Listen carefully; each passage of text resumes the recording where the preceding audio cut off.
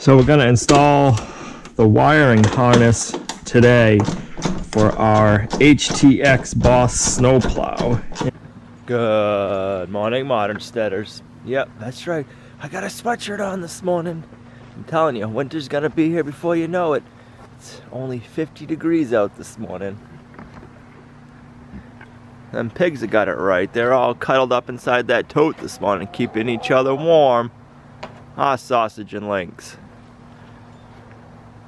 You nice and warm in there? Mm. You grumpy this morning? It's in August now, so two more months and we'll probably be seeing snow here in northern New Hampshire.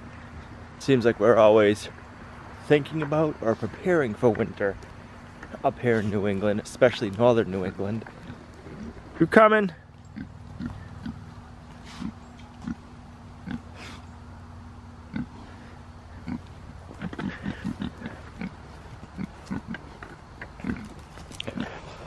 Big reason I haven't been using their automatic feeder is we've been getting so much rain. Sorry, I'm looking for their peel. We've been getting so much rain that their food is gonna get wet. And their feed ain't cheap, so I don't want it getting wet and spoiling on us.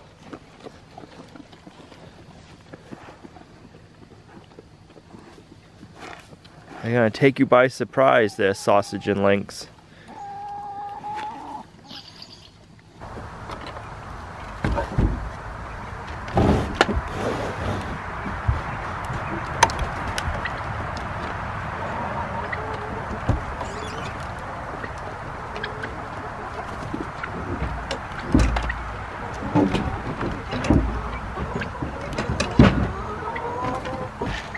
Oh, I did forget to collect the eggs last night too. What am I doing?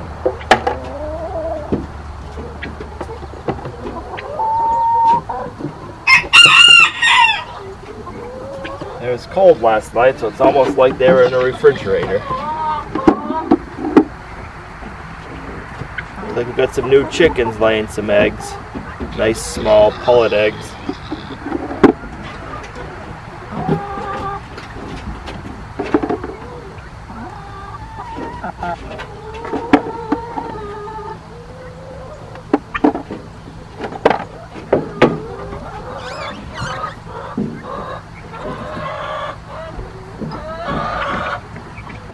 Well, this is the first time we get to use the outdoor kitchen like this.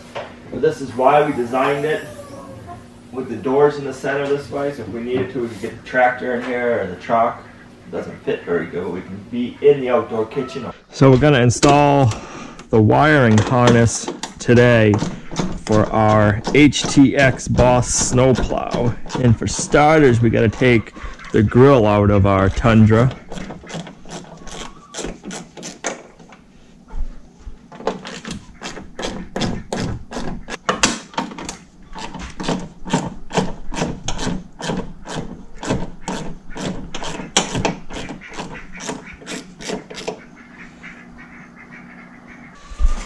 Those four bolts. We've got two little plastic clip rivets.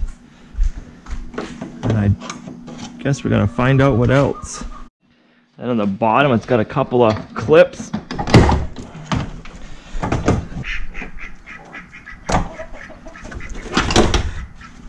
Okay. Next thing we want to do is remove our headlights. And it looks to me like we need to take this piece off.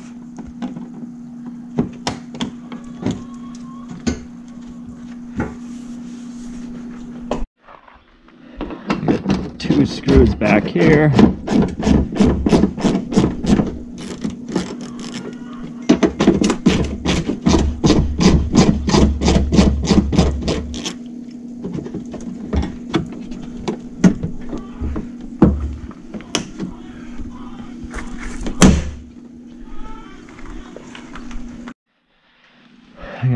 The same thing for the passenger side.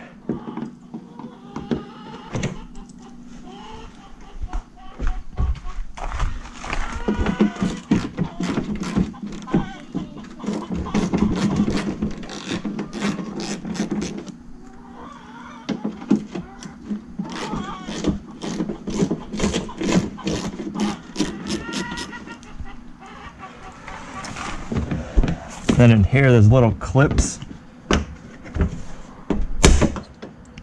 snap in. To remove our headlights, I want to take this little black plastic piece off.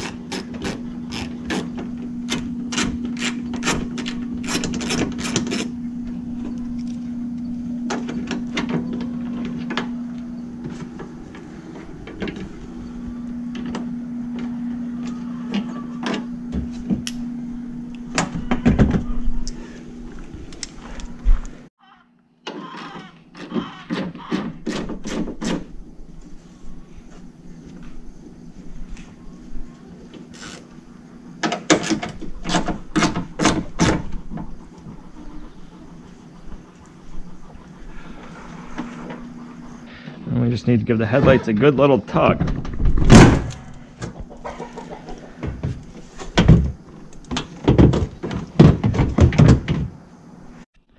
And we want to lay out our wiring harness.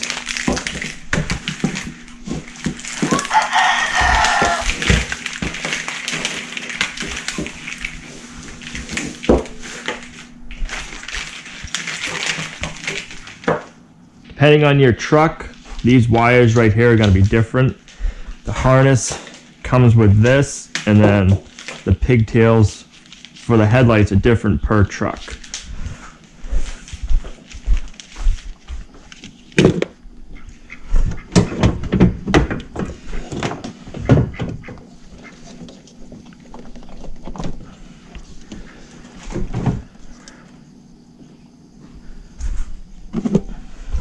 Unplugged the factory side.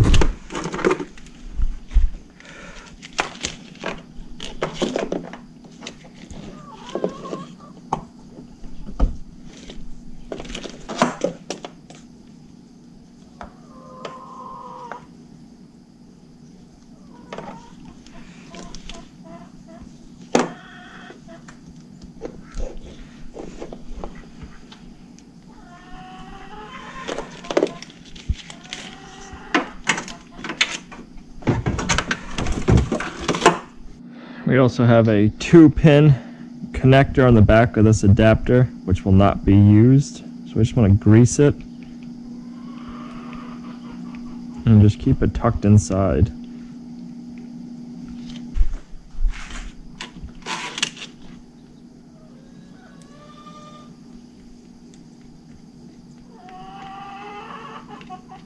At this point, we got to figure out which wire is our turn signal.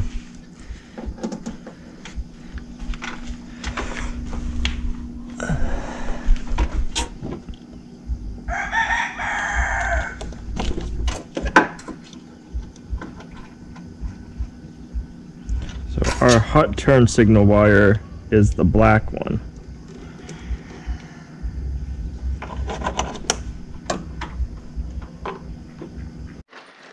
Boss supplies you with connectors right here. I'm gonna put over the wire and then we can plug in the other end there. I myself am not a big fan of these style connectors. This is how the wiring harness is set up. So I'm gonna put dielectric grease on them. Because if you're gonna have an issue with a wire corroding, this is where it's gonna be.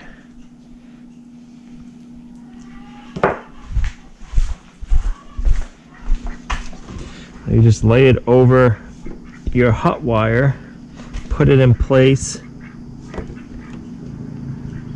and fold it down and snap it in. I'm going to repeat the same step for the passenger side turn signal. First, since my plow is not hooked up, I want to check all this. Should be hot in there, which it is. Awesome. And the directional is still working. And you got to repeat the same for your parking signal, but you only do it on your driver side. You don't need to do it on the passenger side. Find your hot wire.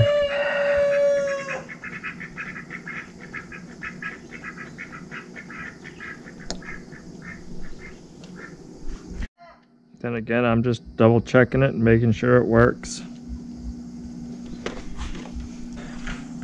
Now we need to hook up all the headlight adapters on the driver's side. I just want to put a little bit of dielectric grease on everything.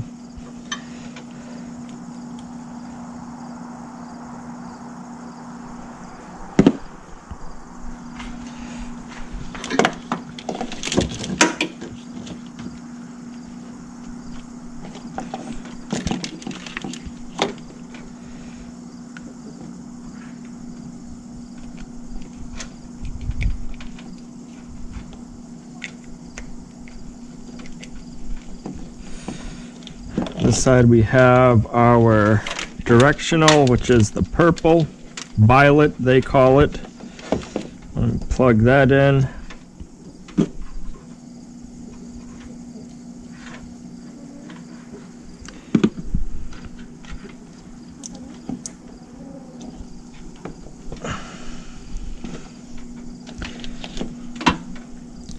The yellow wire is our parking light.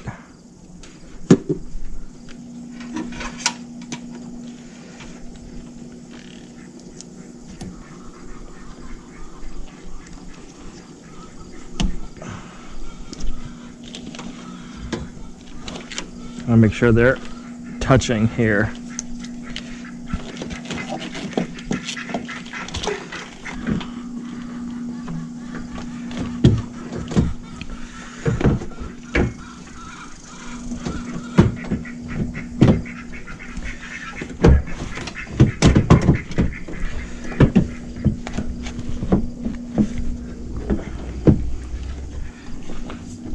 Make sure nothing's really pinched.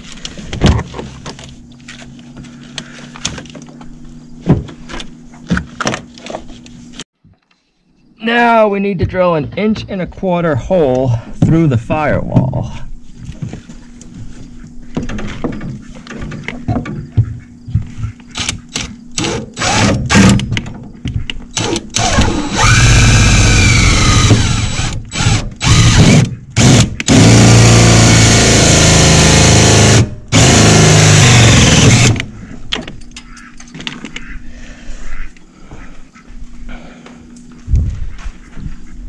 Doesn't look like we hit anything.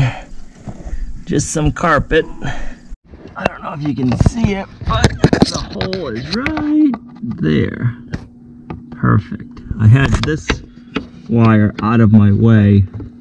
I had it disconnected from the throttle pedal, so I didn't have to worry about drilling into it. It would have been close. So we have our end with two black wires, a black and red wire, and then the plug to plug in our controller that's got to get sent into this hole. You're just a crazy cat, aren't you, mister? So I ran that main coax wire right there through that inch and a quarter hole I drilled. Bring the power wire over here to our fuse panel. We plugged it in to a fuse block that turns on and off with the key. We have our plug-in for our remote. And then we had two other wires we had to run up into a toggle switch to give power to the truck or to the plow. So I ran my main power cable down here. It's sitting down here. I'm gonna take the black wire, put it to my negative. And there's two brown wires that come on the end. The one with the bigger eyelet goes to my negative power cable on the battery. And I'm gonna put that first, and then the main.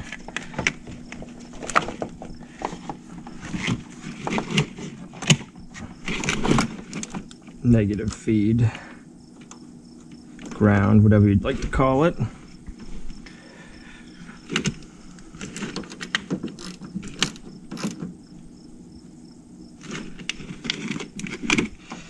And on the positive side, you need to hook up your two reds with the big eyelets. One of them is for the dual burn high beams, and the other one is for the solenoid.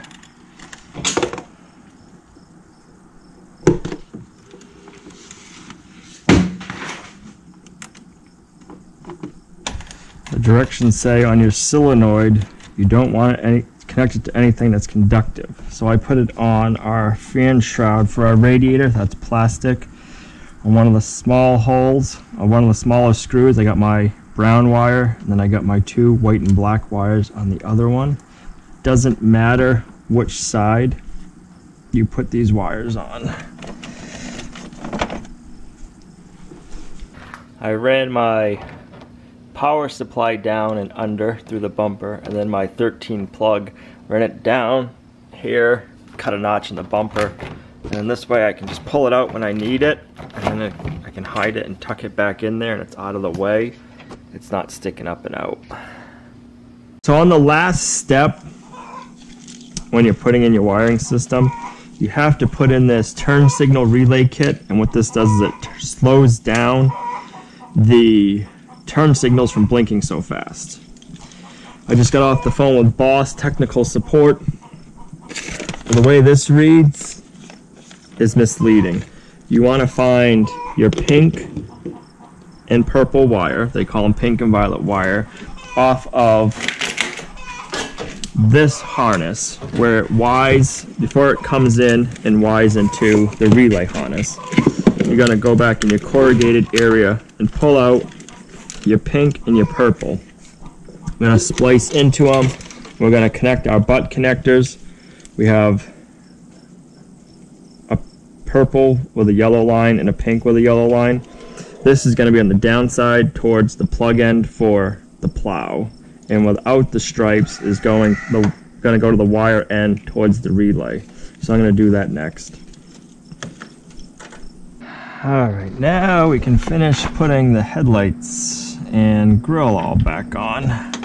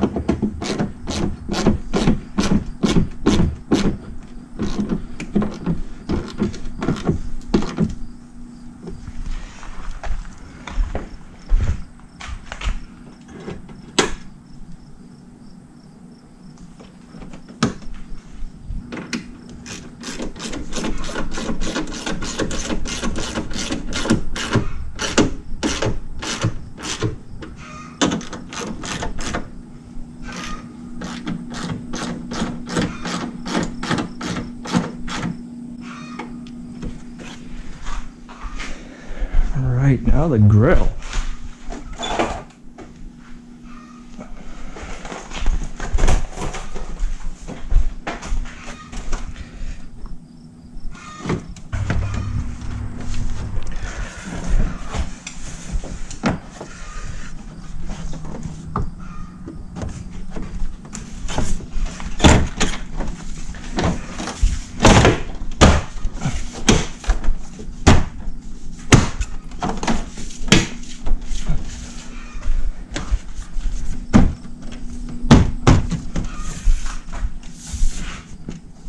Awesome.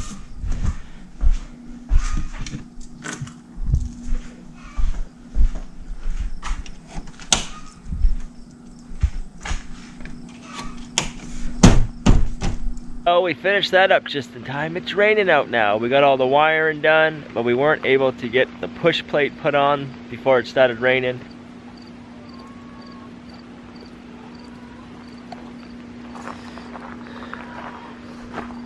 The chickens are having fun hiding under the truck.